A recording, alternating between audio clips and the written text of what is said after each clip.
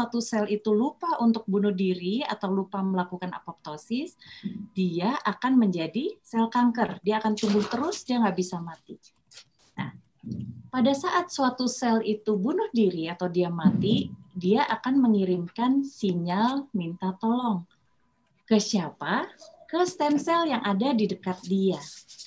Sehingga stem cell setelah menerima sinyal minta tolong tersebut, dia akan membelah diri Salah satu belahannya akan tetap menjelma menjadi stem cell dan satu lagi akan menggantikan sel yang rusak tadi ya yang memberikan sinyal minta tolong. Jadi sinyal minta tolong ini spesifik.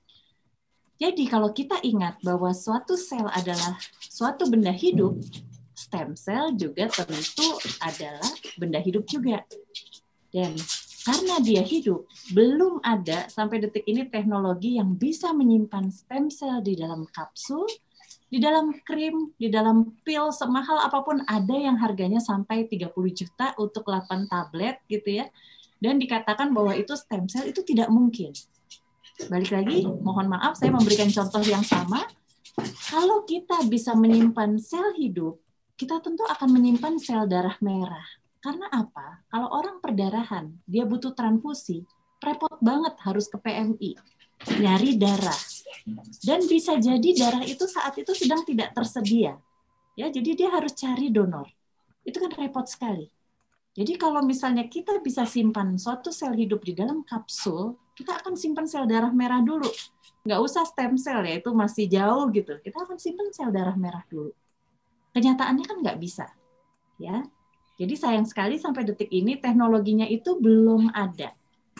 Jadi jangan jangan mau dibohongin iklan ya. Nggak ada tuh stem cell di krim di kapsul tuh nggak ada. Oke, karena dia sel hidup, dia punya tugas, dia punya fungsi. Dia bisa jalan-jalan atau bermigrasi, lalu dia akan berhenti di tempat mana yang membutuhkan dia, yang rusak. Jadi salah satu contohnya adalah dia akan pergi ke tempat yang lagi luka. Gitu. Jadi dia perlu untuk penyembuhan luka. Lalu dia punya daya potensi diferensiasi tadi. Dia bisa merubah diri menjadi sel yang minta tolong. Dan itu sangat berguna untuk kasus stroke misalnya, untuk kasus kelainan saraf akibat diabetes misalnya. Ya jadi banyak. Jadi kalau ada sel jantung rusak, dia juga bisa gitu. Nah, yang ketiga, dia punya efek imunomodulatori. Apa itu efek imunomodulatori? Yaitu efek untuk mempertahankan imunitas sehingga setimbang. Ya. Imunitas kita nggak boleh terlalu lemah. Nanti kita rawan kena penyakit. Dan imunitas kita nggak boleh terlalu lebay. Saya bukan bilang banyak ya, bukan bilang kuat, bukan bilang tinggi, tapi nggak boleh lebay. Kita bisa jadi alergi atau autoimun ya karena selnya tuh lebay gitu dia gampang marah gitu. Bukan karena dia kuat dia banyak bukan. Tapi dia gampang uh, kesenggol terus gampang cranky gitu. Nah itu autoimun ya. Nah dan stem cell punya daya untuk menghasilkan suatu zat. Ya banyak zat malah. Sehingga dia menunjang perbaikan sel. Zat apa? Jadi gini stem cell itu ibaratnya seorang manusia yang sangat baik hati. Dia suka bagi-bagi hadiah gitu. Ya. Nah, hadiah itu sebenarnya dia pakai untuk dirinya dia sendiri, untuk membahagiakan dia sendiri, ya. Tapi hadiah itu rupanya berguna juga untuk membahagiakan sel-sel di sekitar dia. Kita nggak boleh lupa bahwa sel-sel di tubuh kita suka berada di lingkungan yang penuh kebahagiaan untuk mereka. Jadi ada sel yang suka sama protein gitu. Ada sel yang suka sama apa gitu. Nah, si stem cell ini pintar dan dia suka bagi-bagi hadiah. Dia suka kasih-kasih zat-zat yang diperlukan oleh sel-sel lain di sekitar dia dan bahkan dia bisa pakai juga untuk dirinya dia sendiri. Jadi itu zatnya, sitokin, kemokin, eksosom. Mungkin kalian akan suatu hari akan pernah dengar tentang itu dan itu adalah zat-zat yang dikeluarkan oleh stem cell ya dan dikeluarkan oleh zat lain eh, sel lain juga sih tapi stem cell ini pasti ngeluarin ini juga oke kita nonton video lagi dulu Sumber stem cell dapat diambil dari berbagai jaringan di tubuh kita, misalnya dari darah tali pusat atau dari sumsum -sum tulang. Sumber lain yang lebih populer saat ini berasal dari jaringan lemak. Proses pengambilan stem cell dari jaringan lemak lebih mudah dengan risiko yang jauh lebih rendah, tetapi jumlah stem cell yang diperoleh jauh lebih banyak jika dibandingkan stem cell yang diambil dari sumsum -sum tulang. Dan karena berasal dari tubuh sendiri, maka stem cell dari jaringan lemak lebih aman dibandingkan stem cell yang berasal dari darah tali pusat orang lain. Ya, jadi kalau kita memerlukan stem cell, ya kita kan harus ambil dia dari suatu tempat. Dan ternyata tempat yang terbanyak menghasilkan, yang terbanyak punya stem cell, bukan menghasilkan stem cell ya, yang terbanyak ditidur-tidurin sama stem cell itu adalah lemak dari tubuh kita sendiri. Dan ada juga kalau dulu stem cell itu dibilangnya banyak dari sumsum -sum tulang, tapi ngambilnya tuh nggak enak, relatif menyakitkan untuk pasien. Ada juga dari darah, tapi sedikit. Ada dari kulit cukup banyak, tapi siapa juga sih yang mau kulitnya diseset untuk dapat stem cell gitu kan? Berbekas nanti. Nah, jadi kalau dari lemak relatif mudah diambil, dan jumlah stem cell-nya tuh banyak sekali. Jadi saya waktu itu start mendalami stem cell ini karena justru karena saya seorang dokter bedah plastik. Tahu aja kan, dokter bedah plastik kan kerjanya sedot-sedot lemak tuh. Jadi saya dipakai oleh eh, lab lain, saya sebut aja waktu itu saya join dengan labnya Kalbe. Ya, jadi mereka butuh dokter sebagai ujung tombak untuk mengambil bahan untuk stem cell-nya. Jadi dari lemak mereka maunya. Jadi terpilihlah saya gitu waktu itu ya. Nah, sementara karena di tubuh kita ada stem cell, di orang lain juga ada stem cell dong pasti dong. Tapi kalau kita memakai stem cell dari orang lain, itu kategorinya adalah alogenik. Dan stem cell itu tidak bisa 100% cocok dengan tubuh kita. Ya. Jadi di sini saya stated bahwa kalau dari diri kita sendiri itu yang tercocok. Saya bukan bilang tercanggih ya, tertokcer, bukan. Tapi saya bilang yang tercocok. Dan kalau dari orang lain itu ada resiko ketidakcocokan, walaupun saudara kembar, walaupun dari ibu ke anak, itu tetap ada namanya ya ketidakcocokan itu ada. Wah, ada video lagi. Stem cell dari jaringan lemak dapat diperoleh melalui metode isolasi khusus SPF atau stromal vascular fraction maupun melalui proses kultur. Proses kultur membutuhkan waktu sekitar dua minggu dan memiliki resiko kontaminasi yang lebih besar. Sedangkan dengan metode isolasi SPF, stem cell yang diperoleh dapat segera diberikan kepada pasien dalam waktu 2-3 jam. SPF adalah sekumpulan sel yang diperoleh dari jaringan lemak yang diambil melalui proses sedot lemak. Kumpulan sel tersebut di antaranya mengandung 2-10% stem cell mesenkimal, stem cell hematopoietik, sel endotel vaskular, pericytes, sel fibroblast, dan sel lainnya yang berguna untuk meregenerasi atau menggantikan sel yang rusak atau mati. Ya, Nah, jadi ada teknologi lain lagi nih. Ada tadi stem cell ya, sel induk tunggal. Lalu ada namanya stromal vascular fraction atau SVF. Bagaimana nih bedanya? So, karena dia saling menyenggol sebenarnya satu dengan yang lain. Jadi saya sebagai dokter bedah plastik, saya akan mengambil lemak dari pasien untuk dijadikan bahan untuk memproses terus lalu dapat stem cell gitu ya. Nah, pada saat lemak itu saya ambil lalu saya berikan ke tim di laboratorium saya lalu diproses dengan suatu reaksi enzimatik gitu ya. Nanti kita akan mendapatkan pelet di bawah sini yang terdiri dari kumpulan sel. Bisa dilihat di situ kumpulan sel itu mengandung berbagai macam sel termasuk berbagai jenis stem cell. Ya. Nah, jadi seluruh sel ini sebenarnya sudah bisa diberikan ke pasien, nggak usah dipilih-pilih lagi. Dan seluruh geng ini namanya adalah SVF stromal vascular fraction. Ya, dari lemak diproses dapat kumpulan sel, satu geng kumpulan sel itu namanya SVF. Oke, bisa nih, langsung dikasih ke pasien bisa. Tapi kalau tim saya sudah bikin SVF, lalu saya menolak pakai SVF itu enggak ah, saya mau kasih pasien saya hanya satu jenis saja mesenchymal stem cell. Tim saya bingung dong, aduh udah dikasih banyak gitu selnya dipilih pula nih satu sama dokter Karina gitu ya. Jadi mereka harus memperbanyaknya dulu. Dalam suatu kultur atau pembiakan yang dilakukan 10 sampai 14 hari, baru mereka berikan ke saya nih dokter udah banyak lagi, tapi satu jenis sel. Nah, ini yang namanya terapi stem cell. Ya. Jadi ada dua macam, kita bisa dapat dari lemak, yang satu adalah satu geng, ya namanya SVF. Yang satu lagi kalau saya milih satu yang namanya stem cell, tapi dia harus diperbanyak dulu, gitu harus dibiak. Dua-duanya berguna untuk pasien, tapi sejak awal, alhamdulillah, dan saya akan terangkan kenapa saya bilang alhamdulillah gitu ya.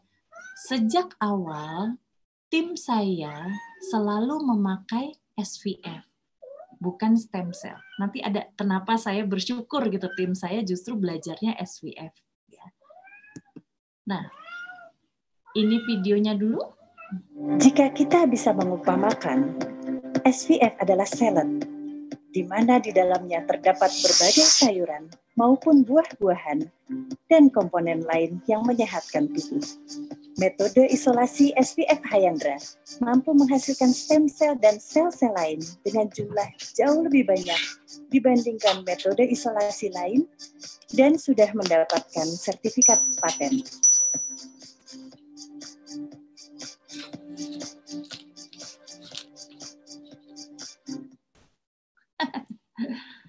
Oke. Okay.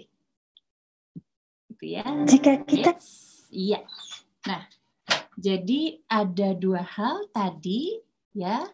Yang satu adalah SVF, yang satu lagi adalah stem cell. Jadi untuk gampangnya kadang-kadang kalau pasien kan bingung tuh udah diterangin setengah mati tetap aja kayak dok apa sih dok nggak ngerti-ngerti. Oke, sekarang saya analogikan dengan makanan. Somal vascular fraction SVF yang satu geng itu adalah salad buah, di mana di dalamnya ada kiwi, ada stroberi, ada blueberry, ada jeruk, ada anggur, ya, ada segala macam buah. Dan tentu semua buah itu berguna dong untuk tubuh kita, ya. Sementara kalau stem cell, saya hanya ambil stroberinya saja. Lalu oleh tim lab saya diperbanyak. Jadi pasien akan datang dua minggu kemudian untuk makan satu piring stroberi saja. Berguna juga, tapi kalau diingat-ingat, ya sebenarnya jeruk juga banyak gunanya buat badan kita. Blueberry juga banyak vitamin C-nya, ya kan? Nah, jadi itu. Dan kalau salad buah langsung disajikan, nggak pakai dimanipulasi dulu, nggak pakai dimanipulasi dulu, nggak pakai diperbanyak dulu, gitu. Ya. Jadi begitu dibikin langsung disajikan. Kalau stem cell dimanipulasi dulu, diperbanyak. ini adalah berbagai publikasi yang saya ambil milik orang lain. Ternyata memang stem cell dan SVF sudah banyak sekali dilakukan di seluruh dunia dan dilaporkan. Ini untuk diabetes, kebanyakan karena waktu itu kebetulan saya nyari untuk diabetes ya, dan untuk ini ada di bawah untuk stroke. Jadi udah banyak sekali. Jadi kalau misalnya kalian cari dengan password misalnya iseng ya stromal vascular fraction diabetic journal gitu. Di Google banyak sekali tuh. Hmm ini kucing saya ada di situ. Ya jadi dia akan keluar gitu. Jurnal banyak. Ya. Nah tim kami alhamdulillah juga berhasil memproduksi berbagai jurnal gitu ya udah keluaran jurnalnya cukup banyak ini sebagian di antaranya ini adalah publikasi internasional dari Klinik Hayandra dan Hayandra Lab. Dan di sini kita bisa lihat ini tentang diabetes, ini pecahan dari S3 saya waktu itu. Dan yang terpenting adalah kita harus mengeluarkan data mengenai safety-nya dari suatu treatment baru. Karena kebetulan SVF ini tekniknya kami temukan baru, ya, dan lalu kami daftarkan ke hak cipta dan mendapatkan paten. Tapi kan orang bertanya-tanya kan, teknik ini aman nggak sih kalau diberikan ke pasien? Dan ini adalah publikasi tentang keamanannya. Karena itu selalu menjadi yang pertama, concern pertama dari suatu terapi yang baru adalah keamanannya, bukan efektivitasnya. Ya. Oke. Dan atas dasar apa sebenarnya SVF ini makin berkembang? Karena dulu kan kita taunya stem cell, stem cell, stem cell. Dan karena dibiak dia itu lebih keren loh sebenarnya. Karena apa? Karena mahal. Dan semua orang berpikir kalau lebih mahal itu pasti lebih keren gitu kan. Kenapa mahal? Karena ada proses pembiakan. Bayangkan di dalam lab dia dibiak selama dua minggu gitu kan butuh reagen. Butuh tenaga kerja untuk ganti reagennya ya butuh pipet-pipet butuh labnya tuh selalu disedot pakai HEPA filter supaya eh, supaya tidak ada kontaminasi bayangkan betapa mahalnya kan Nah, sementara kalau SPF kan ibaratnya kayak dimasak langsung jadi gitu. Jadi jauh lebih murah. Ya, tapi kenapa akhirnya sekarang orang-orang mulai melirik SVF? Telah ditemukan, ini tahun 2015 ya publikasinya, ditemukan bahwa SVF juga memiliki potensi yang luar biasa untuk terapi. Contohnya di situ ada diabetes untuk penyembuhan syaraf, regenerasi syaraf, dan luka dan banyak lagi gitu. Dan ternyata setelah dicoba dikomparasi, dicoba dibandingkan, SVF ini telah dinyatakan memiliki efek yang komparabel, yang serupa gitu, nggak berbeda bermakna dengan stem cell untuk terapi-terapi pada banyak penyakit. Jadi orang-orang mulai mikir kan, itu buat apa ya ngerjain stem cell yang jauh lebih mahal, jauh lebih sulit? Ya, kalau sudah di luar tubuh sampai 14 hari, berarti ada resiko kontaminasi. Ya, karena di udara kita nggak ada sistem pertahanan tubuh, nggak ada sistem imun kan, walaupun biarkan itu kita kasih antibiotik atau kita jaga lingkungannya tetap steril, kemungkinan itu tetap ada. Tapi kalau kita menemukan sesuatu langsung kita masukin ke tubuh pasien, kalau ada apa-apa, ya sel imun uh, sistem imunnya akan bekerja. Kalau ada bakteri ke bawah gitu ya, dan belum sempat berkembang biak kan, karena baru dibikin langsung dimasukin gitu. Nah, jadilah dia itu masih sempat untuk mematikan gitu bakteria. Jadi resiko kontaminasinya sangat kecil dibilangnya bahkan dibilang tidak ada, ya nyaris tidak ada. Gitu. Oke, dengan data tersebut, makin banyak orang kemudian beralih shifting ke SVF. Kita bisa lihat di sini, saya ambil dari website PubMed, bahwa pada tahun 2020 sudah nyaris tidak ada lagi clinical trial yang melibatkan stem cell. Jadi semuanya sekarang sudah mulai shifting beralih ke SVF. Ya, lihat ya, terlihat di sini ya.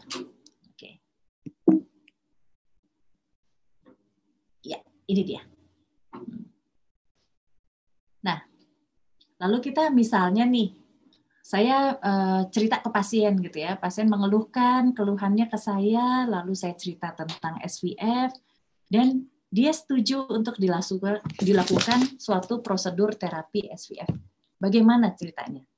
Nah, jadi biasanya pasien kan akan konsultasi dulu. Contoh misalnya kalau penyakitnya diabetes, dia konsultasi ke dokter penyakit dalam kami. Ya, nanti saya nerangin tentang stem cell-nya, dokter penyakit dalam kami menerangkan tentang diabetesnya. Atau misalnya stroke.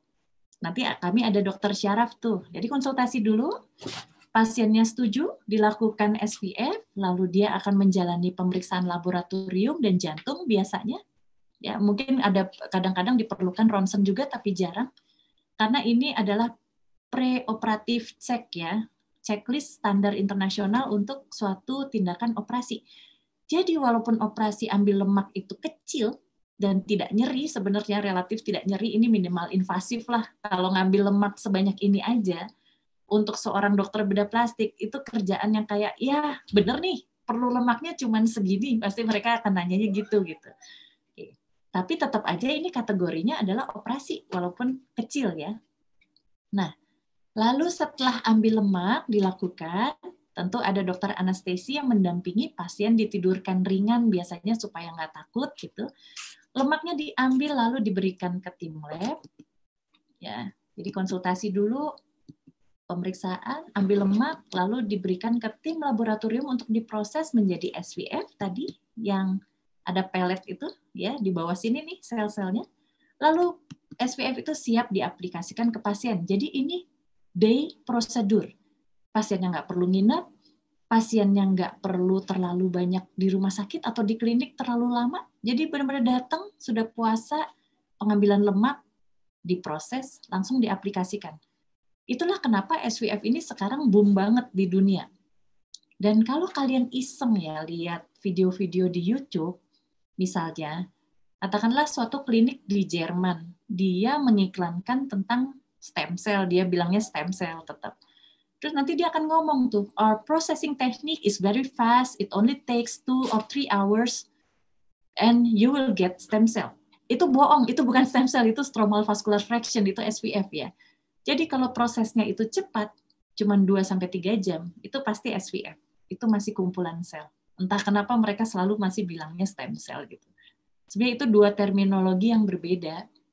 Walaupun SVF mengandung stem cell. Ya. Oke. Okay. Kucing.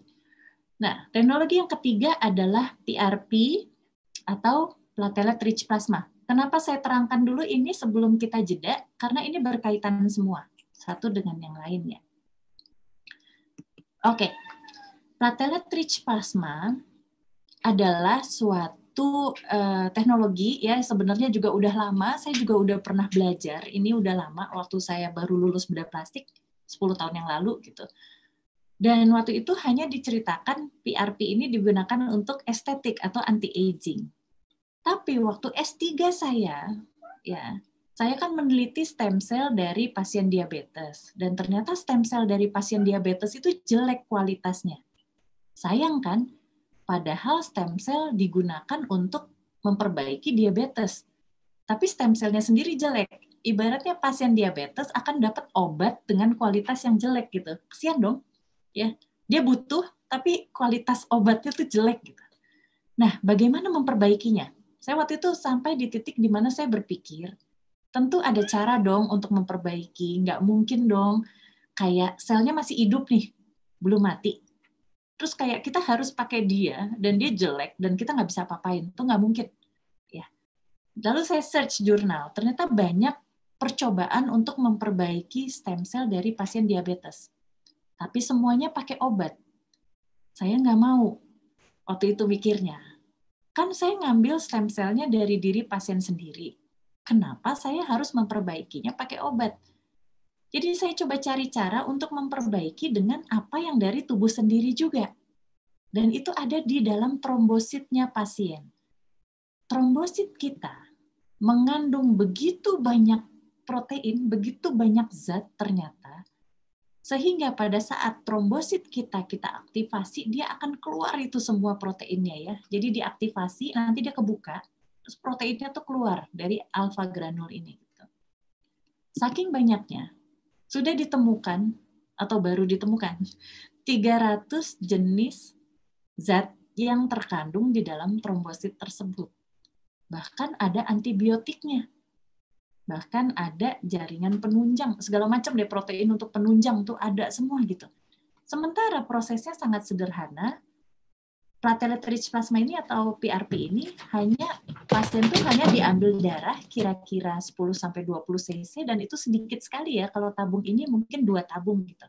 Oh tabung yang lebih kecil dia empat tabung atau 8 tabung. Ya, kayak ambil darah di lab darah untuk cek darah gitu ya Lalu dilakukan pemisahan trombosit dan yang terpenting ternyata lalu tim saya menemukan bahwa yang terpenting sebenarnya bukan pemisahannya tapi aktivasinya. Dan ini tidak banyak dilakukan oleh tim lain rupanya. Jadi aktivasi ini sebenarnya kata kuncinya. Walaupun agak lama, tapi dia akan membuat seluruh zat ini bisa keluar dari trombosit, zat-zat tersebut, dan PRP ini siap untuk disuntikkan. Nah, zat-zat ini ternyata sebagian, terutama yang waktu itu saya teliti adalah VEGF, ternyata dia mampu memperbaiki fungsi dari stem cell kalau kita berikan di medium biakan, medium kultur. Ya, tapi kalau itu kita ngomongin tentang mengkultur ya kalau stem cell. Nah, kalau SVF bagaimana? Karena PRP ini aman untuk diinfuskan juga ke pasien karena ada pengaktifan trombosit, jadi dia pecah semua, trombositnya pecah, jadi zat-zat itu udah murni gitu, jadi tinggal kita suntikan aja ke pasien itu aman ya. Nah jadi saya berpikir kalau SVF kan nggak pakai di kultur tuh nggak pakai di biak berarti tidak ada penambahan medium PRP ke pembiakan. Jadi saya gabungkan aja. SVF-nya kita bikin PRP-nya kita bikin kita campur kita berikan ke pasien dan ternyata memang benar dugaan kami juga sama seperti apa yang kita lihat di laboratorium. Ternyata di pasien pun perbaikannya dengan pemberian SVF yang ditambah lagi dengan pemberian PRP itu jauh lebih bagus. Gitu ya. Jadi ada korelasi antara apa yang kita lihat di laboratorium dengan apa yang bisa kita terapkan ke pasien. Itu correlated jadi akan sangat saya sangat beruntung sih sebenarnya karena lab saya dan klinik saya itu satu atap. Ya, jadi kalau suatu hari kalian berpikir untuk bekerja di suatu lab sel, ya pastikan bahwa kalian punya akses ke dokternya juga, gitu. Jadi kalian bisa lihat gitu apa yang kalian bikin di lab itu gimana sih korelasinya ke klinis gitu. Pasien bagus nggak sih di lab kayaknya bagus nih, tapi pasien gimana? Ya, Nah, ini saya stop dulu di sini. Kita lihat dulu ada ini nggak? Ada yang nanya nggak? Biar nggak bosan. ya, Oke. Okay. Silahkan. Ya. Kalau ada yang mau tanya, silahkan. Ayo sebentar, bertanya. Oh, sebentar. Saya buka pintu dulu nih. Kucing dan anjing saya udah pin keluar dari tadi. Sebentar. Ya. ya. Silakan kalau ada yang mau nanya. Ya Allah, ini ada yang mau masuk, ada yang mau keluar. Oke. Okay. Uh, boleh raise hand? Ayo bertanya. Ya, ya. Jadi ada ada tadi yang saya terangkan itu semua untuk regenerasi dulu ya. Jadi ada stem cell, ada SVF, ada protein growth factors kita bilang ya, protein dari trombosit. Jadi udah ada tiga teknologi tuh. Ya tadi stem cell yang pakai di biak, tapi tim saya nggak melakukan sih. Tim saya melakukan hanya untuk riset kalau stem cell. Lalu ada SVF, yang dia itu tidak dibiak, dia langsung bisa dipakai ke pasien. Lalu ada PRP, dia bukan sel hidup, karena sel hidupnya sebenarnya trombosit. Tapi lalu trombositnya dipecah sengaja dimatiin gitu. Dan sehingga dia menghasilkan protein. Tapi itu berguna semua. Jadi bayangin kita baru ngomongin tiga, dua jenis sel ya. Satu stem cell, satu lagi tuh trombosit. Dan itu gunanya udah banyak sekali gitu. Oke, ini ada Bilkis. Mbak Bilkis mau tanya apa? Hmm. Silakan. Sama ada Aulia. Ayo silakan Mbak. Eh, ditulis aja pertanyaannya di Boleh situ. ditulis chatnya ya, uh, di chat atau boleh uh, di mute, uh, di unmute uh, kalau mau bicara langsung dengan Dokter Karin. Iya. Hmm. Kalau di chat kayaknya lebih rapi kali ya. Nanti saya bacain, nanti saya jawab. Ditulis saja di situ. Uh -uh. Oke, okay, karena gini, karena memang uh, ini akan jadi sangat menarik karena apa? Memang banyak sekali akhirnya penyakit yang selama ini dari tanda tanya. Gimana cara nyembuhinnya dan ternyata bisa terperbaiki. Saya nggak bilang sembuh ya, memang susah sih kalau sampai sembuh total. Kadang-kadang ada penyakit yang luar biasa. Kita juga penyebabnya kita nggak tahu gitu, ya. Jadi uh, ternyata bisa diperbaiki kondisi pasiennya dengan SVF atau stem cell atau PRP. Eh ini kok nggak ada yang nulis pertanyaannya? Nah, Oke, okay. SVF alogenik nggak bisa karena apa? Karena SVF itu masih banyak jenis selnya dan ada sel darah. Jadi akan sangat uh, banyak sekali titik-titik di mana kemungkinan penolakan kalau dari satu pasien ke pasien yang lain. Kalau mau main alogenik atau dari orang ke orang, lebih aman kalau satu jenis sel, stem cell aja. Itu pun juga wajib dicek dulu tingkat kecocokannya ya. Dan katanya di dunia ini tingkat kecocokan itu terdekat cuma sekitar 85 persen. Jadi sisa sisanya adalah gambling, nggak diterima sama tubuh. Kalau nggak diterima dimatiin si selnya oleh tubuh ya dianggap sebagai uh, benda asing ya sel imunnya pasien tuh akan menghantam dia karena dianggap benda asing jadi dimatiin gitu. Jadi kalau SVF nggak mungkin rasanya alogenik too much too many things inside jadi kemungkinan untuk nggak cocoknya lebih tinggi malah. Efek sampingnya apa? Yang saya sering dapat pertanyaan ini dan saya selalu jawabnya saya pin ketawa gitu kalau jawab. Efek sampingnya adalah dokternya dimarahin pasien karena bekas tempat ambil lemaknya sakit. karena apa? Alhamdulillah sampai detik ini ya, sampai detik ini itu efek sampingnya tuh minimal banget. Kita pernah dapat beberapa pasien merasa flu-like syndrome gitu, jadi kayak abis dimasukin SVF terus berasa kayak sumeng-sumeng, kayak mau demam, kayak mau flu gitu ya Nah, itu pernah. Terus ada lagi pasien itu apa ya kayak merasa kayak mau menggigil gitu, tapi nggak jadi. Tapi itu pun sedikit sekali sih. Misalnya katakanlah itu mungkin dua persen. Nah, tapi yang pasti tempat ambil lemaknya itu sakit. kan namanya disodok-sodok ya ngambil lemak gitu. Jadi pasti biru, lebam, dan pasien-pasien tuh kadang-kadang terutama sih jujur sih terutama yang bapak-bapak sih ya karena kalau ibu-ibu tuh kayak kayak ya udah biasalah kalau sakit segini sih ya gitu. Nggak seberapa lah dok. Nggak dibanding melahirkan atau dibanding menstruasi gitu. Tapi kalau bapak-bapak tuh bisa komplain karena dok saya tuh kalau lagi main golf tuh perut saya jadi sakit. Ya, bekas diambil lemaknya gitu. Ya jadi relatif minim sekali. Dan itu bisa dilihat di publikasi kami yang safety. Jadi bisa di research eh bisa di Google uh, jurnal aja Karina Hayandra jurnal gitu ya safety of SPF nanti keluar itu jurnalnya. Ya, itu bisa dibaca di situ. Kami menayangkan bahwa efek sampingnya itu sangat sangat sangat sangat sangat minimal gitu. Nah lalu ada lagi. Um, saya scroll dulu. Oke. Okay. stem cell dan SPF perbedaannya SPF tidak sespesifik stem cell sebenarnya bukan tidak sespesifik, tapi stem cell itu hanya satu jenis sel di dalam SVF. Ya. Dan kita mesti ingat, kenapa orang-orang beralih ke SVF?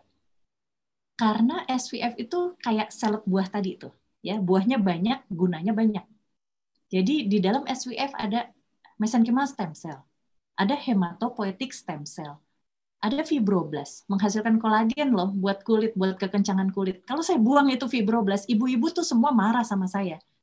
Dok, saya butuh kolagen buat mengencangkan kulit saya. Kenapa dokter buang gitu kan? Ya, jadi semua sel itu berguna. Dan tenang aja, sampai detik ini di seluruh dunia belum ada yang berhasil menemukan kelebihan sel. Ya, justru masih kurang. Karena apa? Kalaupun kita tidak sakit ya, tapi kayak saya, kayak Ibu Anggra ini, kita di atas 40 tahun ya Bu umurnya ya?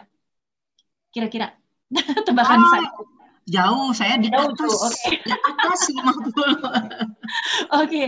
jadi saya juga kebetulan udah di atas 45 gitu ya. Tanpa hmm. kita sakit apa pun, tanpa diabetes, tanpa kena stroke, nauzubillah tanpa kena penyakit jantung, karena aging proses sel kita akan turun jumlahnya drastis karena kematiannya jauh lebih banyak dibanding produksinya. Ya, jadi pada saat kita ambil, oke okay, teknologi Hyandra hebat nih, katakanlah bisa menghasilkan miliaran sel sehingga bisa dipaten. Yang mati mungkin triliunan, ya. Jadi nggak pernah kelebihan sayangnya. Dan kalau misalnya pun misalnya ya secara teori, kalau sel itu kelebihan, badan kita punya sistem membunuh sebenarnya kesetimbangan jadi sama badan kita tuh diiris gitu. Ya hmm. dinonaktifkan atau dibunuh, dimatikan itu ada. Tapi sampai detik ini sih saya malah saya tuh kayak lu gimana ya caranya bisa nemu sel stem cell atau SPF lebih banyak lagi, lebih banyak lagi gitu karena selalu terasa masih kurang.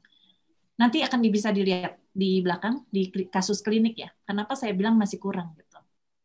Oke, diabetes, diabetes tipe 1, tipe 2 bisa semua. Karena apa? Prinsip dasar dari SVF atau stem cell, balik lagi saya nggak bilang sembuh ya, tapi perbaikan.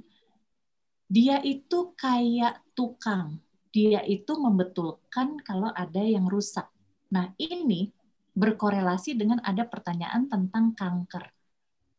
Ibaratnya rumah saya, ini rumah ya, rusak karena saya pakai tiap hari gitu kalau rusak saya panggil tukang kan, dia betulin. Benar gak? Nah, jadi tukang saya betulin gitu. Jadi rumah saya kembali bagus. Ya. Tapi kalau kita ada kanker, ibaratnya di rumah saya ada teroris. Dia lagi pakai bom bunuh diri gitu. Terus saya panggil tukang saya, Mas, Mas, itu di kamar saya ada teroris, tolong di ini dong dibunuh. Tukang saya kabur duluan nggak mungkin dia mau gitu ya. Jadi saya harus panggil polisi atau saya harus panggil Densus 88 atau Kopassus atau Gegana anti teror whatever gitu ya. Nah, itu bukan stem cell. Itu adalah sel imun. Lain lagi. Nanti kita akan masuk ke situ sebentar lagi. Ya. Jadi tidak bisa dipaksa bahwa satu sel bisa berfungsi untuk semua. Ya. Seperti saya, saya dokter saya nggak bisa tiba-tiba saya suruh naik genteng saya betulin atap genteng rumah saya tuh saya nggak bisa. Atau listrik gitu korslet saya nggak bisa. Mungkin ngerti sedikit-sedikit tapi nggak bisa. Nggak bisa the whole. Ya saya nggak bisa kayak anak ITB bagian mesin terus bikin mesin gitu saya nggak bisa. Jadi spesifik fungsinya. Nah PRP itu kenapa bisa memperbaiki SVF atau stem cell? Karena dia protein. Seperti yang tadi saya terangkan di depan bahwa sel-sel itu bekerja di tempat yang happy, bikin dia happy. Dia akan lebih bagus. Dan yang bikin dia happy adalah protein salah satunya. Hadiah-hadiah itu, zat-zat yang membuat dia happy. Jadi PRP itu kan menghasilkan protein, dia bikin sel-sel itu happy. Sekeliling dari sel itu akan menyenangkan buat sel itu untuk bekerja. Itu itu bahasa awamnya ya, tapi nanti kalau kita terjun lagi ke biologi benerannya melakukan itu namanya growth factors dan growth factors itu merupakan tentu ya faktor pertumbuhan untuk sel gitu. Ya, tapi bahasa awamnya adalah happy aja gitu. Ya, selnya happy dia bekerja lebih baik. Nah, untuk percobaan kami lengkap dari in vitro, in vivo, pasien itu lengkap semua, ada semua dan uh, kita akan segera masuk ke uji klinis karena sayangnya ya sayangnya kalau di dunia medis in vitro in vivo terus udah punya nyaris seribu pasien seperti tim kami itu nggak cukup. Jadi tetap harus dilakukan uji klinis. Untungnya nanti saya juga akan sebut Permenkes kita mendukung itu. Oke saya stop di sini dulu pertanyaannya. Nanti saya akan jawab lagi. Ya kita lanjut. Share screen berikutnya. Nah ini tentang tadi itu Densus 88 ah, pasukan anti teror ya. Kenapa saya terpaksa belajar ini? Ini cukup menarik ceritanya. Jadi pada tahun 2014 akhir saya beserta Pemprov waktu itu bersama Pak Ahok Pak Ahok waktu itu PLT Gubernur, kami pergi ke Korea untuk lihat teknologi tentang kanker, memakai sel imun. Lalu dititip oleh Pak Ahok, Karina kamu ambil deh ini teknologi, tarik ke Indonesia. Terus saya bilang, saya manggil beliau Mas ya. Aduh Mas, ini duitnya dari mana? Saya bilang gitu, emang Pemprov mau bayarin? Nah, dia bilang cari aja investor gitu kan. Nah, terus saya coba cari investor, ternyata kebetulan gagal karena visi misi seorang dokter biasanya ya, ya saya tidak di raise untuk menjadi seorang businesswoman gitu. Jadi dokter adalah pelayanan. Sementara kalau bisnis investor gitu, bisnis adalah kapan balik modal. Jadi nggak cocok, nggak pernah cocok gitu. Jadi akhirnya tidak terjadi apa yang diinginkan Pak Ahok untuk saya narik dari uh, dari luar negeri, tarik imun sel terapi ke Indonesia. Nah, tapi kemudian di tahun 2015 ibu saya kena eh 2016 satu setengah tahun kemudian ibu saya kena kanker dan di situ saya langsung gitu ya saya langsung berpikir Allah nggak pingin saya nyerah cuman itu sih yang kepikir waktu ibu saya WhatsApp gitu ya kebetulan taunya kan di rumah sakit beliau dokter spesialis juga, beliau kerja di rumah sakit. Terus kita merasa ada yang ya kayaknya ibu saya kena usus buntu, saya pikir gitu ya. Saya minta untuk USG, ternyata hasilnya adalah kanker. Ibu saya WhatsApp, oh mama ternyata kena kanker gitu. Terus saya langsung berpikir saat itu, waduh Allah tuh nggak nyuruh saya nyerah, eh nggak mau saya nyerah nih berarti gitu. Yang terjadi adalah ibu saya dioperasi, dinyatakan kanker usus besar stadium 2B, dan hasil patologi anatominya diperiksa di bawah mikroskop ini sel kankernya ya. Ini usus beliau yang dipotong. Jadi hasilnya adalah berdiferensiasi buruk alias apa? Kalau tingkatannya di sel kanker ini termasuk yang paling jelek. Jadi kalau diferensiasi baik tuh malah lumayan bagus. Lalu sedang lalu buruk. Nah, buruk tuh jelek gitu. Jadi prognosisnya dibilang bahwa kemungkinan ibu saya sembuh tuh jadi makin kecil lah gitu. Ya. Dan ibu saya tentu disuruh kemoterapi. Karena beliau seorang dokter spesialis, beliau langsung berpikir dong, beliau tahu kemoterapi kayak apa gitu kan. Beliau nolak. Dan waktu itu dalam kebingungan saya karena ibu saya nolak, tapi yang operasinya kan teman saya tuh yang operasi marah-marah terus kok mundur terus jadwal kemonya segala macam. Saya ingat prof yang waktu itu saya temui bersama Pak Ahok itu di Korea. Saya kontak, saya telepon, Terus saya bilang, Prof, saya beli teknologinya. Sekarang juga deh. Terus dia bilang, Karina, kamu waktu itu kesulitan pendanaan kok tiba-tiba gitu. E, apakah sekarang udah ada uangnya? Saya bilang, enggak. Karena mama saya perlu, mama saya kena kanker. Terus dia bilang, nggak akan keburu. Narik teknologi itu sayangnya ya, nggak sekedar kita beli resep, lalu kita coba langsung bisa. Sayangnya kalau di laboratorium kalian akan berhadapan dengan banyak sekali kegagalan pada saat mencoba teknologi baru. Jadi kita ada validasi teknik nanti namanya ya. Jadi nggak bisa resep langsung dicoba, langsung bagus, langsung bisa, itu nggak mungkin. Nggak mungkin, belum pernah terjadi gitu. Nah, jadi ibu saya diminta dibawa ke Jepang. Kenapa ke Jepang? Karena katanya di Jepang lebih murah. Dan prof tersebut bilang teknologinya itu teknologi dari perusahaan tempat saya kerja juga kok, jadi sama.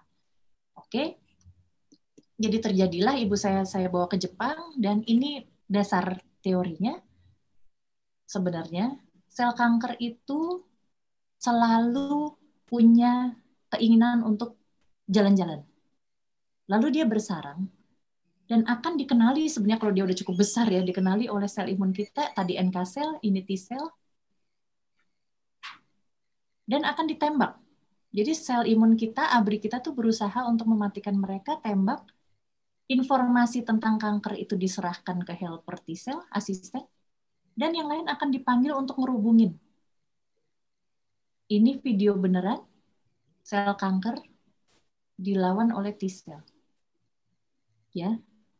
Jadi, di badan kita ada mekanisme alami di mana sel kanker itu pasti dicoba dikenali dan dicoba dibunuh.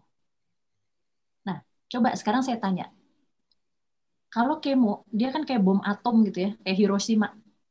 Yang mati siapa nih kalau saya bom ini? Yang mati semua. Sel kankernya mati sel imunnya mati juga. Ya kan? Itulah kenapa kemoterapi selalu memberikan efek samping yang luar biasa dahsyat ke pasiennya karena sel imunnya mati juga stem sel pasien mati juga sel darah merah yang lagi kena ke bom itu mati juga sel darah putih mati juga. Karena dia nggak spesifik. Dia nggak hanya membunuh sel kankernya.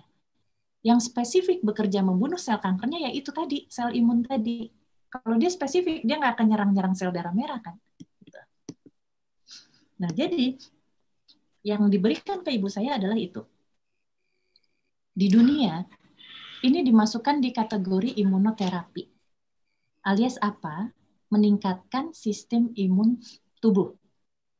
Ada yang berbentuk obat yang berguna untuk menggiatkan sel imun. Jadi sel kanker tuh pinter, dia itu merepress, membuat sel imun kita gerah gitu, nggak suka kerja. Nah, ada obat-obat yang menahan serangan dari sel kanker yang membuat kita gerah itu tuh ditahan. Tapi ada juga obat-obat yang meningkat akan memperbanyak sel imun. Dan ada yang ini yang diberikan ke ibu saya. nggak usah pakai obat deh, repot. Kata orang Jepangnya ya. Kita ambil aja sel imun dari darah ibu kamu, terus dibiak, jadi banyak kan? Kalau dibiak kan jadi banyak, terus dikembaliin lagi.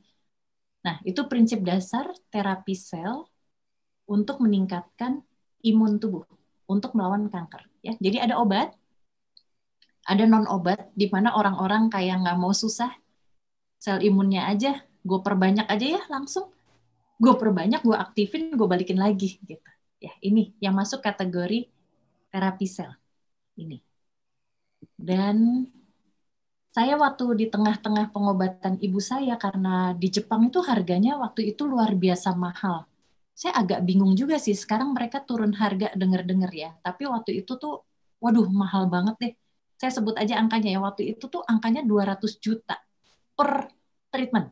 Padahal ibu saya disuruh enam kali. Kebayang kan itu harganya segitu. Belum sama tiketnya, belum sama hotelnya, tapi karena ibu saya dokter dikasih diskon.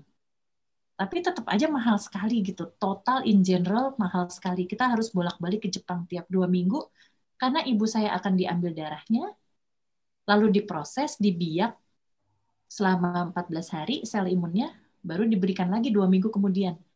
Jadi pergi untuk ambil darah, next time berikutnya pergi untuk ambil darah dan infus, ya ambil darah buat yang selanjutnya gitu. Habis itu pergi lagi dua minggu kemudian.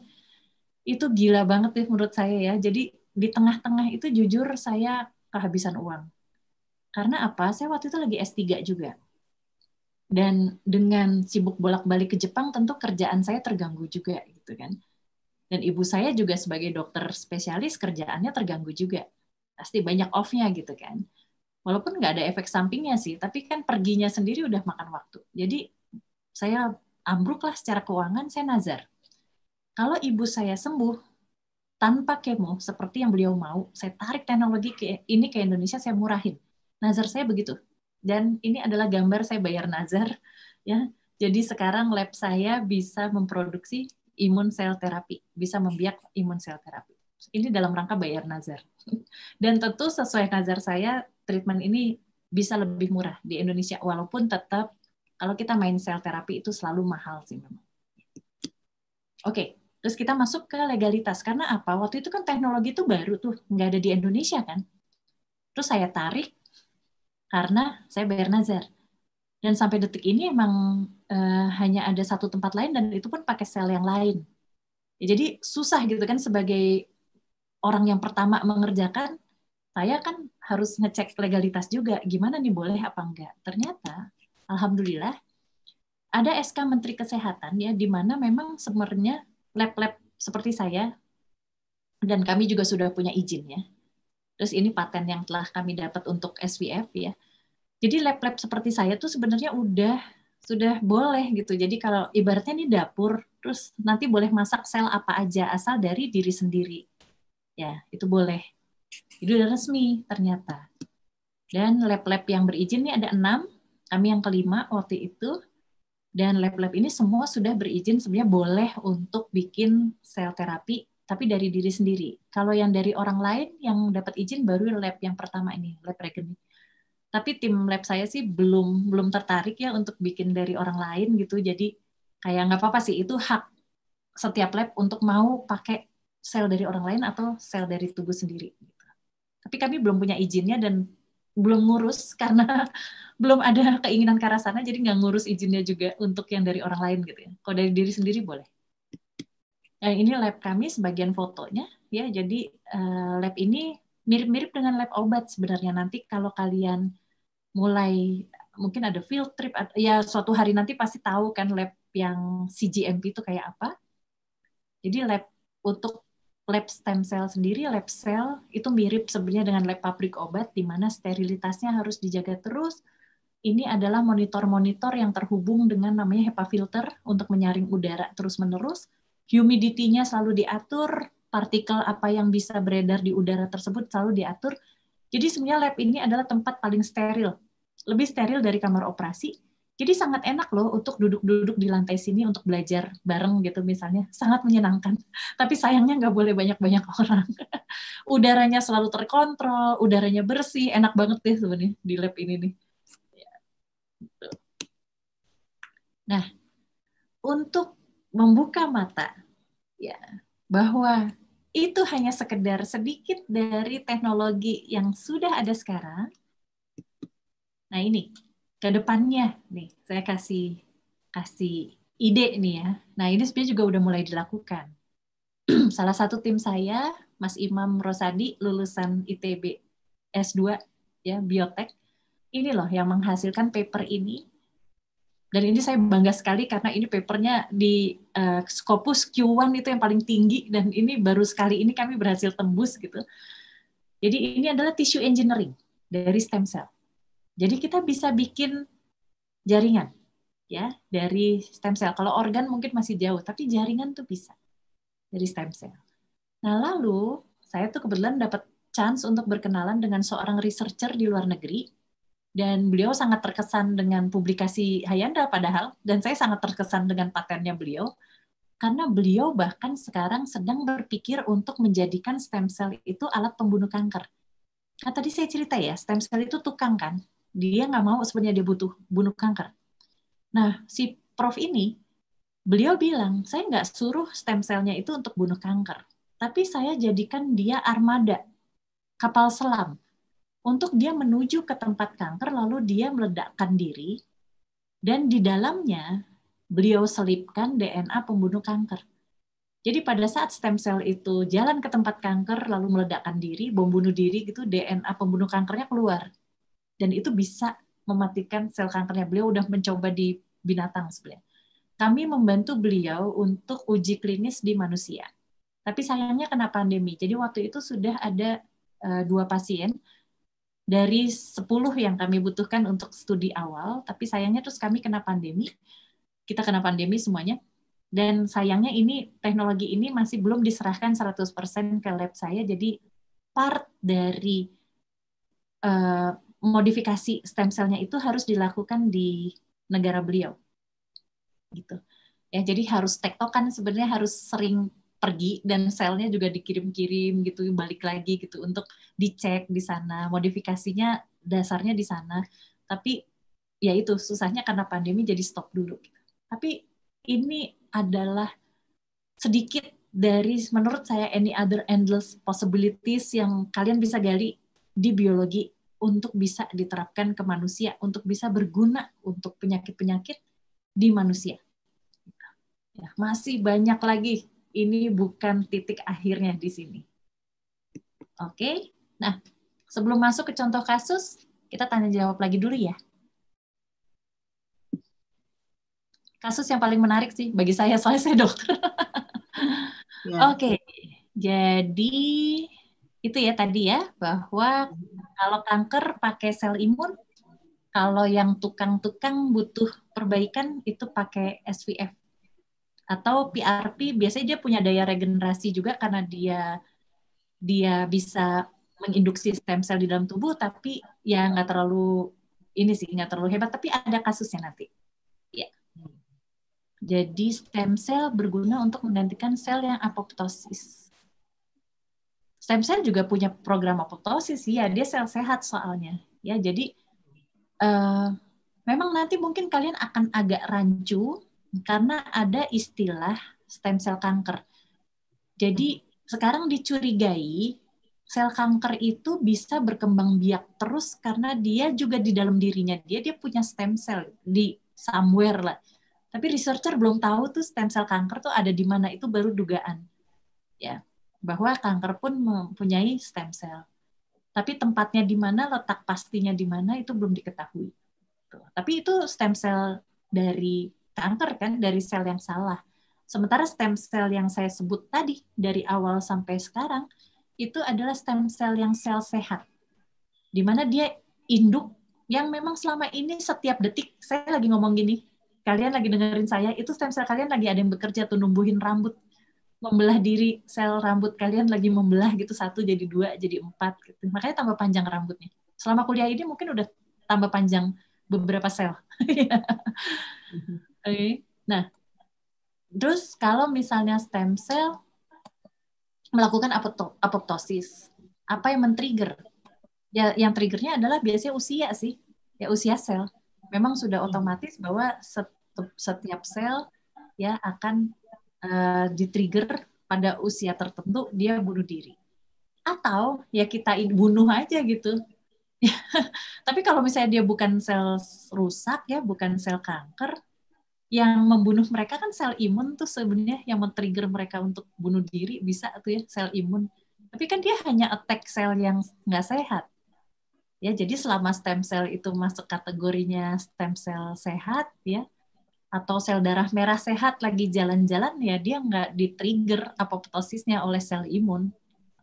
Jadi di badan kita tuh kayak negara aja. Ada orang baik-baik lewat ya polisi juga diem-diem aja kan nggak mungkin tiba-tiba ditembak mati gitu. ya. Oke. Okay. Stem cell diambil dari jaringan lemak. Dia bukan pluripoten. Kalau stem cell itu diambil dari seorang manusia yang sudah lahir atau Contohnya yang udah lahir itu ya bayi gitu, bayi udah lahir. Nah, tali pusatnya itu bahkan juga nggak pluripoten. Dia hanya multipotensi. Jadi potensinya sudah mulai terbatas. Kalau mau yang pluripoten harus waktu di dalam kandungan ibu tuh. Bahkan waktu belum berbentuk bayi.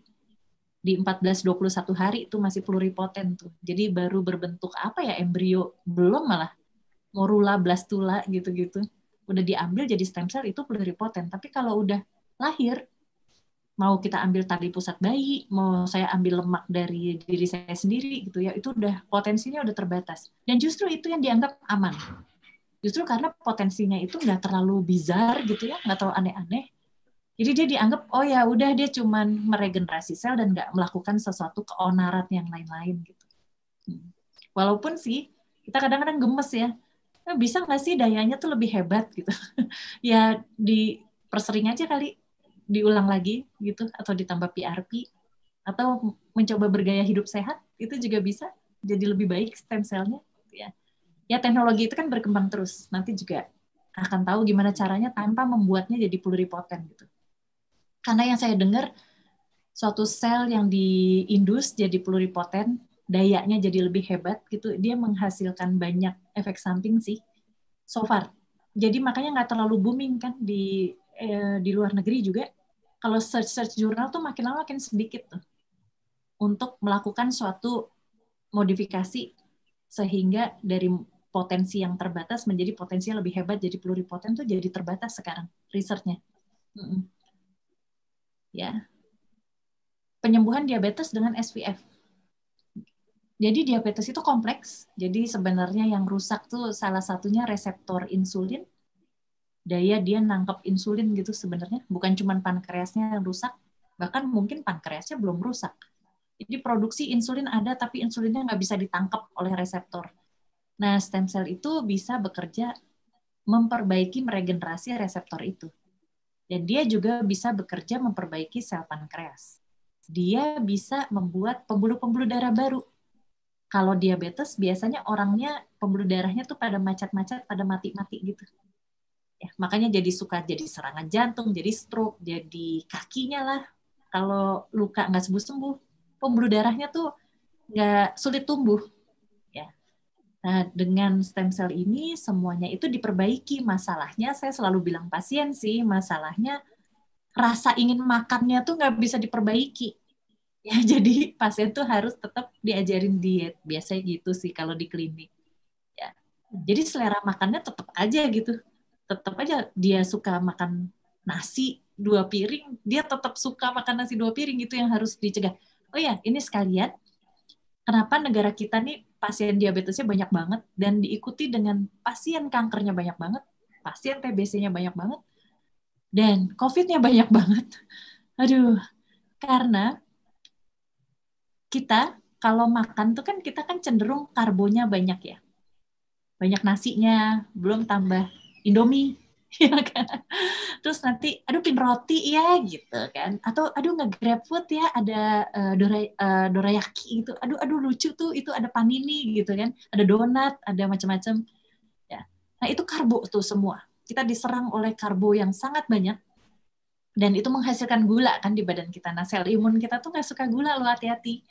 Ya, kalau gulanya terlalu tinggi, stem cell kita juga nggak terlalu suka, sel imun kita nggak terlalu suka. Jadi kayak kita sering banget diserang penyakit gara-gara itu. Ya, jadi apalagi lagi pandemi gini, kalian tentu takut dong kena COVID ya. Dan keluarga kalian juga. Jadi kalau boleh titip, nasinya tolong dikurangin, mie instannya tolong dikurangin gitu ya. Kentang gorengnya ya, kalau biasa aja makan semua digabruk jadi satu, pilih deh satu aja dan dikurangin gitu. Misalnya biasanya nasi sepiring penuh, coba dikurangin dua sendok gitu. Kalau lagi pin boba, ya nasinya dikurangin lebih banyak. ya, saya titip itu soalnya ini gawat banget ini COVID ini di Indonesia. Oke, ada lagi pertanyaan sampai saat ini ada penyakit permasalahan yang sama sekali belum mampu menghasilkan hasil positif. Hmm, saya nggak berani takabur sebenarnya ya karena tetap di atas ada Allah gitu. Terus dan saya ngerasa sebenarnya yang nyembuhin atau yang memperbaiki kondisi pasien itu bukan kami, bukan tim Hayandra, tapi kan stem cell-nya, SVF-nya. Dan itu kan bukan buatan kami ya, kami cuma bantuin untuk misahin dari lemak gitu. Sel-selnya buatan Allah kan. Tapi sampai detik ini alhamdulillah ya, kami kok belum pernah lihat pasien itu tidak ada perbaikan. Nah, kalau pasien kanker lain cerita ya, kita nggak pakai SVF ya.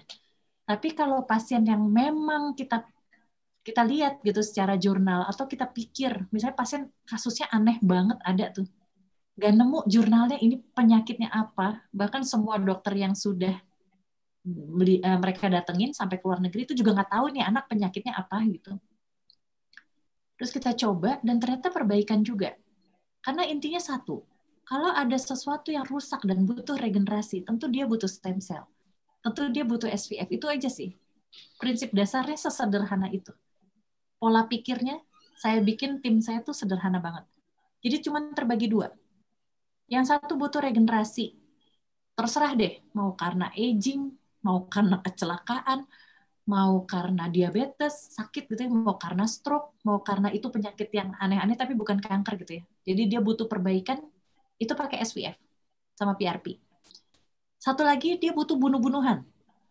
Dia kanker, dia butuh dibunuh itu pakai sel imun udah itu aja itu aja dulu gitu nah nanti masalahnya adalah seberapa kita bisa menemukan sel yang bagus itu banyak atau tidak dan seberapa berat penyakitnya cuman itu jadi perbaikannya tuh alhamdulillah selalu ada cuman memang dalam tahap yang tingkatannya berbeda-beda karena penyakit yang datang juga kadang-kadang berat banget gitu kan ya gitu tapi dengan mempola pikir berpola pikir sederhana gitu ternyata kita bisa membantu banyak sekali orang. Ya, jadi justru nggak terlalu rumit. Jadi bagi dua aja. Yang satu butuh regenerasi, yang satu lagi butuh bunuh-bunuhan.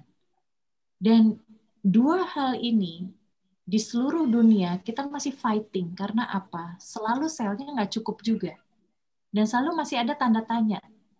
Sakit satu itu sebenarnya kompleks gitu kan. Nah, jadi selalu masih bisa masuk teknologi baru gitu. Gitu.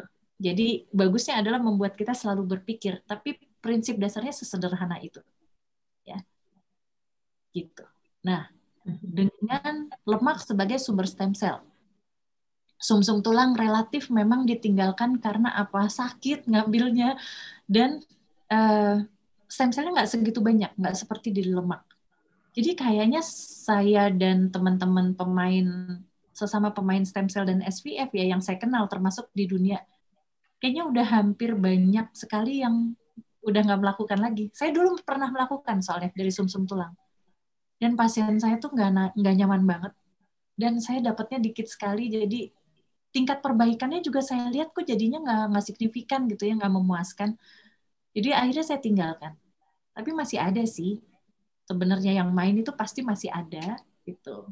Tapi ya makin sedikit mulai banyak berpindah ke lemak ya ingin menanyakan yang mengandung sel-sel regenerasi pada SVF itu pada seluruh geng SVF ya cuman kalau kita lihat di tabung dia tuh kayak putih-putih gitu ngumpul jadi satu. Kita bilangnya pelet sih.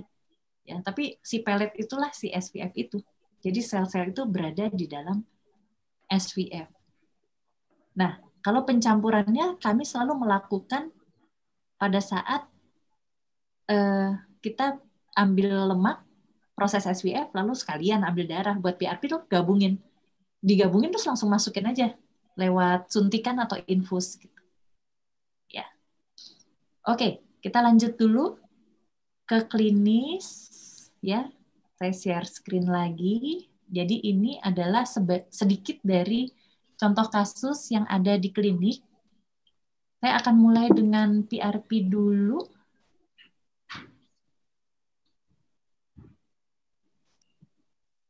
Jadi dokter di klinik kami tuh banyak sekali karena apa? Penyakitnya juga beda-beda. Jadi ada yang yang paling sering sih datang sekarang diabetes sama kanker. Kanker lagi banyak banget sih. Karena pasien nggak bisa keluar negeri. Jadi mereka biasanya treatment itu di luar negeri terus sekarang terpaksa harus di Indonesia kan susah kan karena pandemi keluar negeri susah. Jadi kami menyediakan banyak sekali dokter termasuk psikolog karena penting sekali pendampingan psikologi pada pasien-pasien yang sakitnya berat. Nah, ini saya mulai PRP sebenarnya sudah 9 tahun yang lalu. Dulu saya masih kerja di rumah sakit dan saya banyak menerima kasus luka bakar karena kan saya dokter bedah plastik ya. Jadi saya memang dapat pasien pasien luka bakar tuh di bawah dokter bedah plastik. Dan saya dulu nggak suka banget kalau uh, dapat pasien luka bakar karena apa? Saya tuh orangnya nggak tegaan gitu. Saya nggak tega ngelihat orang tuh kesakitan. Dan kalau dapat pasien luka bakar, kayak gini nih datang ya, terus kita cuci kan, karena ini kan kotor, ini kan uh, jaringan mati sebenarnya yang saya harus cuci. Pasiennya ditidurin sih di bius. Nah setelah dicuci jadi telanjang begini kulitnya hilang, karena memang kulitnya mati kan sebelum saya cuci. Jadi pas dicuci kulit hilangnya terbuang, kulit matinya terbuang, terus tersisa lah kayak gini. Dan saya harus ambil kulit dari paha pasien, untuk saya tanamkan ke kulit ini. Dulu harus begitu. Dan bayangkan bahwa sakitnya jadi double. Di tempat yang luka bakarnya sakit, di tempat yang saya ambil kulitnya juga sakit.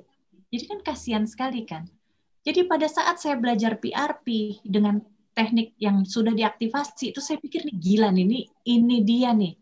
Ini protein ini semuanya dibutuhkan untuk penyembuhan luka saya mikir-mikir gitu aja, mikir-mikir simple kan. Penyembuhan luka butuh regenerasi. Regenerasinya butuh protein, butuh growth factors. Coba deh saya pakai ke pasien PRP luka bakar. Ada beberapa jurnalnya, tapi waktu itu tuh belum ngetop gitu loh, karena dianggap teknik baru, masih masih dalam trial awal, tapi dibilangnya ya mungkin akan bagus hasilnya gitu-gitu. Saya coba aja ke pasien, dan ternyata sejak saya pakai PRP dari berdarah pasien itu saya nggak pernah lagi tanam kulit. Dan kalau disuruh tanam kulit sekarang saya udah nggak bisa kali ya karena udah lama banget nggak melakukan. Saya senang sekali karena apa? Kalau nggak tanam kulit, pertama pasiennya nggak kesakitan kan dari tanam kulitnya. Yang kedua apa? Yang kedua kan cost-nya lebih murah. Operasi tanam kulit itu kan mahal sayanya kan harus dibayar untuk tanam kulitnya gitu kan. Udah gitu kalau gagal nanam lagi. Terus ganti-ganti balutan tiap hari gitu. Nah, jadi itu sangat mahal. Sementara kalau PRP itu hanya dari darah pasien, saya bisa lakukan di poliklinik malah pasiennya suruh pulang aja gitu. Nanti datang ke poliklinik nggak usah dirawat. Diambil darahnya di diaktifkan. Kami mengaktifkannya dengan sentrifugasi dan kalsium ya. Nah, terus disuntikan ke pasien, diinfuskan dan disuntikan hasilnya udah. Ya memang kalau luka bakar pasti belang sih. Nanti warnanya kan pelan-pelan akan lebih samar. Tapi ya itu tuh pasiennya nggak perlu tanam kulit. Ya. Nah, itu yang penting tuh. Dan ini adalah kasus di mana luka bakarnya udah delayed malah, udah lama. Kasus ini menarik karena apa? Kebetulan saya juga kenal sama Pak Sandiaga Uno. Saya panggil dia Mas Sandi gitu ya Nah, dua minggu yang lalu kalau nggak salah, Mas Adi WhatsApp saya, eh Karina tuh kamu tuh pasien kamu yang ini, pasien saya yang ini, ya rupanya ketemu sama beliau. Dan ini pasien pedagang uh, ayam goreng. Dan dia ketumpahan minyak. Waktu dia lagi dagang dia nggak bisa dagang dia nggak punya uang buat berobat. Ditemukan oleh tim pemprov waktu itu Pak Anies sudah jadi gubernur Mas Andi udah jadi wagub. Terus dilaporkan kan ini ada kasus luka bakar gini gini gini tapi nggak ada dana. Ya Mas Andi langsung lu terus ke, suruh ke si Karina aja gitu. Terus di klinik terus dengan pesan bahwa gratis ya. Terus saya kayak ya iyalah gitu ya. Pasien nggak mampu gitu kan. Nah terus pasien ini kita obatin hanya satu kali loh PRP-nya terus jadi membaik ya. Oh dua kali habis ini terus PRP lagi tapi terus kabarnya udah sembuh nah terus sekian tahun kemudian ketemu sama Mas Sandi di lagi beliau lagi sidak-sidak COVID apa-apa itu kemarin. Terus terima kasih terima kasih nyebut nama saya masuk Instagram beliau gitu. Terus saya kayak ya ampun ini pasien lama yang saya juga udah lupa jujur muka beliau nama beliau saya udah lupa tapi pasien itu happy sekali karena dia bilang Pak terima kasih saya tuh nggak jadi diamputasi katanya begitu karena. Karena waktu itu sakit sekali kata beliau dan bonyok dan bau ya infeksi. Dan beliau tuh takut banget gitu. Kalau diamputasi sebenarnya nggak mungkin sih ya. Kalau luka kayak gini diamputasi tapi namanya orang nggak ngerti kan. Jadi lucu terekam di Instagramnya beliau. Dan ini juga kasus di mana teknik ini jadi sangat sederhana sangat murah kan. Dari darah pasien diproses dua jam dibalikin lagi dan luka bakarnya sembuh gitu. Ya. Jadi teknologi itu walaupun banyak orang bilang teknologi itu mahal tapi kalau kita lihat pada penerapannya ya kalau dia mempersingkat lama rawat dia mempersingkat masa penyembuhan itu pasti ujung-ujungnya lebih murah. Ya kita jangan terpuk, terpaku pada ya iya bikin labnya kan mahal ya. Tapi pasiennya sembuh jauh lebih cepat dia nggak perlu beli obat banyak-banyak BPJS nggak perlu cover dia lama-lama di rumah sakit malah ini berobat jalan gitu kan nah jadi lebih murah kan ya, at the end kita harus berpikir gitu suatu teknologi walaupun mahal, kalau dia berguna untuk banyak sekali orang, itu kan reduce the cost sebenarnya. Ya, itu murah jadinya. Ya. Nah, ini balik lagi ke yang SVF dan PRP yang sel. Saya pakai sel kenapa? Ini kasus susah banget. Ini autoimun. Badan nyerang badannya sendiri. Jadi yang saya bilang sel imunnya tuh lebay. Jadi kayak gini, ada satpam gitu ya di rumah. Terus dia nganggur, terus kayak, aduh kok gue bosen ya gue tembak deh bos gue gitu majikannya ditembak sama Diana itu itu autoimun jadi badan menyerang badannya sendiri dan itu sakit banget kata pasiennya dan sudah berobat segala macam cara sampai berobat pakai obat kanker bayangin beliau nggak kanker tapi diobatin pakai obat kanker kayak apa rasanya gitu kan nah lalu kami coba treatment ini satu kali treatment dan ini empat bulan kemudian setelah beliau menjalani treatment waktu itu tiga kali. Ya, satu kali ambil lemak, kita SVF-nya bisa kita jadikan empat kali sekarang. Tapi dulu waktu itu belum nemu cara nyimpennya, jadi baru tiga kali. Tapi bayangkan pasien ini, coba lihat ya, dari awal dia menggerinyut dahinya, sekarang udah bisa senyum, berarti nyerinya hilang. Beliau udah bisa pakai bedak, pakai make up, beliau sudah bisa ke kantor. Pada kondisi kulit seperti ini yang cewek-cewek pasti tahu tuh gimana caranya mau pakai bedak? Ya nggak akan nempel ya kan? Jadi nggak bisa disembunyiin juga sakitnya itu gitu. Tapi dengan seperti ini walaupun kalian mungkin bisa lihat di layar komputer atau handphone masing-masing kulitnya tuh nggak sempurna sehat dia masih kering tapi at least dia sudah pantas lah untuk pakai bedak dan pergi dan rasa nyerinya sudah hilang ini autoimun memang luar biasa sih ininya hasilnya. Nah, ini kasus stroke. Bapak ini stroke 17 tahun yang lalu. Kita lihat sisi kanan tubuhnya yang kena, ini ya kakinya diseret dan tangannya nanti dilihat. Saya minta Bapak ini untuk mengangkat tangannya secara maksimal. Coba lihat yang kanan, dia macet kan? dia maksimal hanya segitu, yang kiri bisa sampai atas. Karena stroke-nya kena ke sisi tubuh yang kanan. Ya. Lalu seminggu kemudian beliau datang untuk treatment kedua. Jadi baru satu kali treatment. Saya suruh beliau angkat tangan. Lihat yang kanan. Sudah bisa naik maksimal. Walaupun belum sekuat yang kiri ya. Dan beliau senang banget tuh beliau ketawa. Ya, itu satu minggu satu kali treatment. Selesai treatment empat kali, beliau tangan kanannya sudah berfungsi nyaris normal.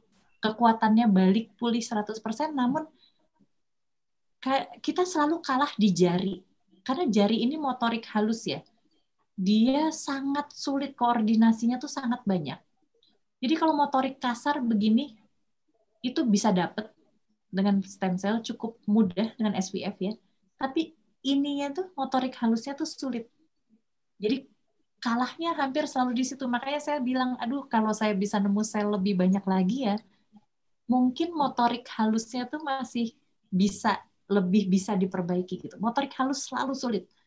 Ya. Nah, ini kasus kanker, ini ibu saya. Beliau di bulan ini akan berulang tahun ke-74. Alhamdulillah, sudah lima tahun dinyatakan bebas kanker. Beliau sehat, masih praktek, dan kalau praktek tentu karena merasa sudah usia dan bekas kanker, terus beliau akan pakai itu tuh semua pelindung dirinya tuh komplit. Kalau saya cuma pakai masker, beliau komplit lah, keren lah, dokter kulit soalnya beliau ya. Dan sesuai nazar saya karena ibu saya sembuh tanpa kemo, itu tadi ICT-nya saya tarik ke Indonesia. Beliau masih treatment sampai sekarang karena apa? karena sel kanker itu nggak mungkin hilang sih dari tubuh kita. Sebenarnya saya yang nggak punya penyakit kanker pun sebenarnya tiap hari sel kita tuh pasti ada yang salah membelah gitu. Dan itu jadi sel kanker dan itu yang harus dikenali oleh sel imun. Jadi saya pikir apalagi ibu saya yang memang sudah sel salahnya udah banyak waktu itu gitu kan. Jadi saya masih treatment beliau tiap enam bulan itu saya ICT beliau dua kali. Jadi setahun tuh empat kali saya pribadi jujur saya treatment juga karena gen kanker di keluarga saya kayaknya tinggi sekali. Ibu saya dan adik-adiknya kena kanker gitu. Jadi uh, untuk melindungi diri, apalagi saya udah di atas 45 ya. Jadi sekarang saya mulai treatment preventif aja. Saya meningkatkan sel imun saya dengan saya biak. Dan hasilnya ya nggak ada apa-apa kan di badan saya nggak ada kelainan apa-apa. Jarang sakit sih, relatif jarang sakit. Alhamdulillah jarang flu juga. Jadi nyaman sih sebenarnya di tubuh. Nah, ini kasus yang sangat luar biasa rumit sebenarnya.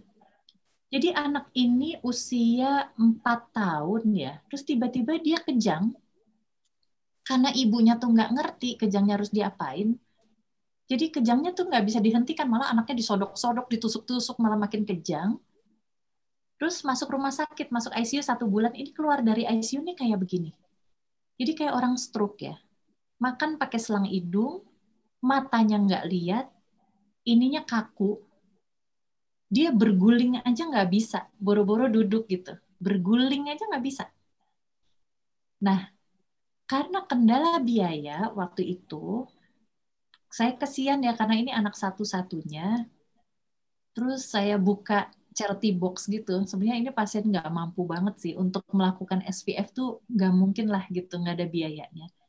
Saya buka charity, semuanya nyum ya semua nyumbang terus dokter-dokternya semua bersedia untuk zero nihil gitu nggak dibayar terus kayak untuk biusnya segala macam kita gratiskan dari klinik. Tapi kan reagen-reagen processing di labnya itu untuk SVF-nya harus tetap dibeli kan dan itu yang mahal sekali gitu. Itu puluhan juta harganya. Jadi terkumpullah dana hanya cukup untuk satu kali treatment. Saya pikir ya, ya ampun satu kali treatment dengan kasus seheboh ini matanya nggak lihat, makan nggak bisa, duduk nggak bisa, berguling nggak bisa. Satu kali treatment gimana caranya menyembuhkan anak ini gitu. Tapi saya pikir Bismillah aja lah emang terkumpulnya cuma segitu ya mau apa ya. Tetap kita lakukan. Dan ini empat bulan kemudian anak ini sudah bisa melihat, sudah bisa menghindari kursi, jalan lari ngejar ibunya, tapi memang kalau kita lihat jalannya masih oleng ya. Ya. Dan anak ini saya pancing dengan amplop isi uang. Saya pengen tahu dia bisa ngomong apa enggak dan dia bisa ngomong terima kasih. Maaf saya matikan suaranya karena saya nyebut namanya dia gitu dan jujur saya video ini saya nangis loh karena saya itu nggak nggak nyangka gitu ya satu kali treatment masih pengen nangis sampai sekarang kalau lihat video ini satu kali treatment yang eh, dananya memang besar juga gitu tapi satu kali treatment dari tubuhnya dia sendiri ternyata bisa membuat anak ini sekarang itu kejadian empat tahun yang lalu ya anak ini sekarang udah SD loh, udah sekolah, udah bisa naik sepeda, main sama temen-temennya dan ya ampun gitu ya. Maksudnya kayak aduh yang nggak kebayang gitu sebelumnya bahwa kita bisa memperbaiki pasien yang sudah dinyatakan cedera otak gitu. Dan ini jujur video ini membuat saya dipanggil sama guru-guru saya dokter-dokter syaraf, profesor-profesor di Rumah Sakit Pusat Otak Nasional di Cawang. Dia itu kayak RSCM tapi buat syarafnya gitu. Jadi kayak nomor satunya se Indonesia. Saya dipanggil untuk presentasi karena video ini beredar dan nyampe ke mereka. Dan eh, kami dalam proses tanda tangan kerjasama bahwa nanti di rumah sakit itu akan dilakukan layanan SVF jadi lemak pasien akan dikirimkan ke lab kami untuk diproses. Ya. Jadi itu sepertinya sudah ending dari presentasi saya hari ini. Kalau misalnya ada yang belum jelas, ada beberapa uh, sebagian dari ini ada di YouTube kami di Hayandra Channel dan ada di Instagram di klinik Hayandra ya. Terima kasih. Wassalamualaikum warahmatullahi wabarakatuh. Terima kasih Dokter Karin, luar biasa ya. Jadi uh, apa yang kita peroleh hari ini dari awal gitu untuk uh, khususnya untuk anak-anak uh, mahasiswa yang mengambil biologi dasar, kita belajar sangat banyak dari seseorang yang punya pengalaman langsung ya. Uh, dari teorinya, dari di labnya sampai dengan aplikasi di klinisnya kita bisa lihat uh, luar biasa ya apa yang kita uh, dapatkan hari ini menurut saya untuk kalian semua akan sangat berkesan dan akan diingat ya oleh kalian. Nah, Dokter Karin ini orang yang sangat uh, generous ya, makanya nazarnya apa selalu terkabul ya, Dokter Karin. Amin, amin, amin. Tapi ya. saya nggak berani nazar lagi terus terang Bu. Terutama yang berkaitan dengan uang sih, karena luar ya. biasa loh itu sampai ya itu ya yang Uh, saya mungkin buka di sini ya karena saya pikir kalau orang belajar itu kan harus ya ngapain juga saya tutup tutupin saya bukan berasal dari keluarga yang mampu gitu secara keuangan. Jadi uh, bahkan saya sekolah spesialis itu dari biaya saya dari uang yang saya tabung hasil saya ngebabysit babysitter di sela-sela waktu saya. Dulu waktu saya exchange student di Amerika makanya kenapa ada SMA saya di Amerika tuh saya menang beasiswa pertukaran pelajar.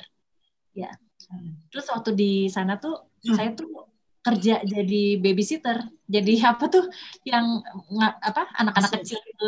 Jadi kan mereka kan eh, orang tuanya pingin nonton lah atau pingin ke mall terus anak-anaknya di saya pegang ngasuh gitu kan.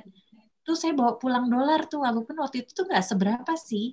Jadi tiap hari Jumat saya tuh pasti ngebabysit dan uang itu kebetulan kena krismon jadi dolarnya justru naik kan jadi saya punya rupiah yang cukup besar dan itu yang jujur yang membiayai S2 saya. Jadi pada saat membangun Hayandra Lab itu, lab lalu akhirnya nazar bahwa saya tarik teknologi dari Jepang yang tentu kita bayar ya dan bayarnya dalam dolar. Itu kalau dipikir lagi sekarang, aduh nggak tahu tuh saya uang dari mana ya, saya ngutang bank sih. Jadi saya sekarang takut untuk punya nazar keuangan lagi karena utang banknya gimana nanti bayarnya. Tapi alhamdulillah. Jadi uh, sesuatu yang baik itu menurut saya sih akhirnya selalu ada jalannya walaupun susah. Luar biasa lah kalau dibilang kes, tingkat kesulitannya tuh luar biasa banget dan itu ada di YouTube channel kami Bu. Ya. Yang bersama Mas Imam ya, ya. Uh, saya wawancara tim lab gitu. Mhm. tingkat kesulitannya seperti apa dan jujur ya di tengah-tengah nyaris putus asa semua juga karena susah sekali baik dari sisi uh, pengetahuan, nggak ngerti bikin lab maupun dari si kendala keuangan jelas ya. Yeah. Jadi itu yang membuat saya berpikir bahwa saya harus cerita itu karena mungkin akan ada orang-orang yang ngalamin seperti saya gitu. Punya yeah. keinginan yang besar untuk maju tapi kendala biaya ya udah hajar aja. Pinjem aja sama bank. insya Allah bisa kebayar. Asal niatnya baik, rasa sih semua juga Allah akan melindungi sih. Iya, luar biasa, uh, Dokter Karin. Dokter Karin, terima kasih banyak ya untuk ya. Uh, kuliahnya, sharingnya hari ini. Uh, mungkin karena waktu juga kita nyaris pukul 9 gitu, tapi ya. uh, saya akan atas nama SITH ITB kami mengucapkan banyak terima kasih kepada Dokter Karin atas sharingnya, atas berbagi ilmunya, dan juga mengingatkan kepada kita semua begitu ya bahwa ilmu biologi itu penting ya Dokter Karin, kemudian niat baik dari ya niat baik seseorang juga pasti ada uh, jawabannya dari Tuhan gitu. Jadi saya sangat terkesan sekali dengan kuliah dokter Karin hari ini bukan hanya ilmunya saja tapi sharing untuk kehidupan juga begitu. Nah, uh, kami atas nama SITA ITB sekali lagi mengucapkan banyak terima kasih. Semoga dokter Karin sukses selalu ya, sukses tambah sukses terus. Amin. Uh, ya. Sama-sama. Mungkin itu Dokter Karin, uh, mungkin sebelum kita berakhir, uh, izinkan saya semua kameranya on dulu ya untuk Masih bisa foto. difoto. Ya, uh, Bu Iriawati bisa fotoin, Bu Iriawati? Eh, bisa saya screenshot ah, ya, Bu Popi ya, boleh, ya. boleh. Kita nongol dulu nih semua ya, kita sama-sama uh, foto dengan uh, Dokter Karin. Oke. Okay. Okay ada ada tiga halaman, ada lima halaman ini ya rame ya. Jadi saya hitung sampai tiga ya untuk halaman pertama satu dua tiga. Oke. Lalu halaman kedua satu dua tiga. Lalu halaman ketiga satu dua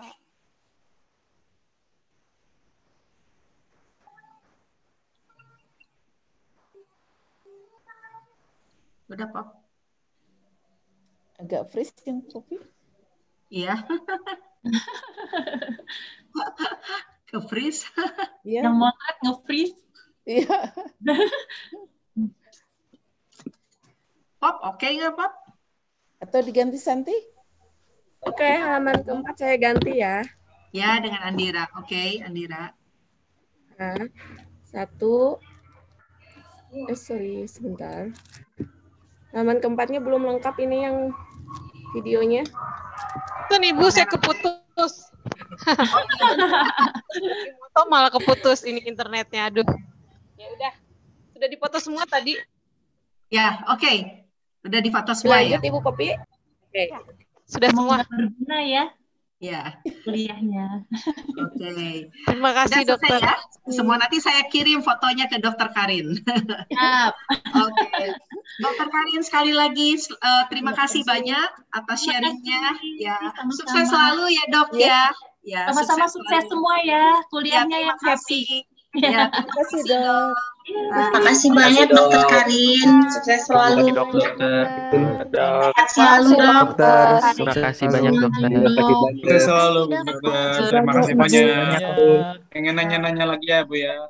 Di DM aja. Terima kasih banyak Ibu. Oke. Terima kasih banyak Bu. Ya Bu. Terima kasih Bu. Terima kasih banyak Ibu. Sehat selalu. Amin, amin. Sehat semua ya. Amin. Amin. amin. Baik, uh, saya akhiri ya meeting ini. Terima kasih semua.